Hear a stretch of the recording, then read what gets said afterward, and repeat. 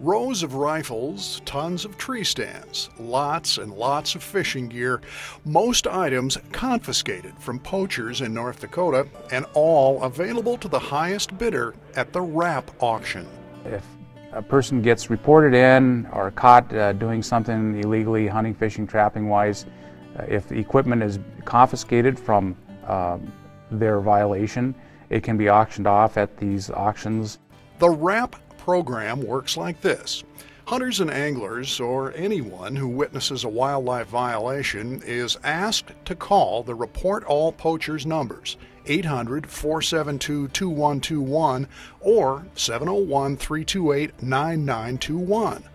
If the violation is serious enough, the offender can have their equipment confiscated by the North Dakota court system and could end up on the auction block. Let's say if, you, if a person goes out and, and takes a double limit of, of walleyes one day uh, and they're caught, it's likely that they will lose their fishing equipment.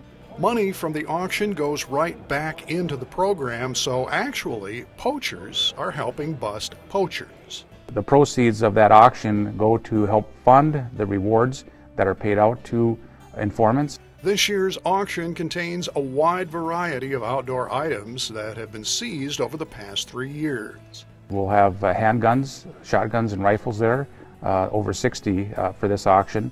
We'll have archery equipment, some nice bows. There'll be uh, coolers, uh, fishing rods and reels. Uh, there'll be traps. There'll be an ATV and a snowmobile. The auction is not only for confiscated items. There are lots of tree stands that have been abandoned on wildlife management areas, and even a few fish houses that have been left on area lakes and are up for bid. This is Tom Jensen, Outdoors.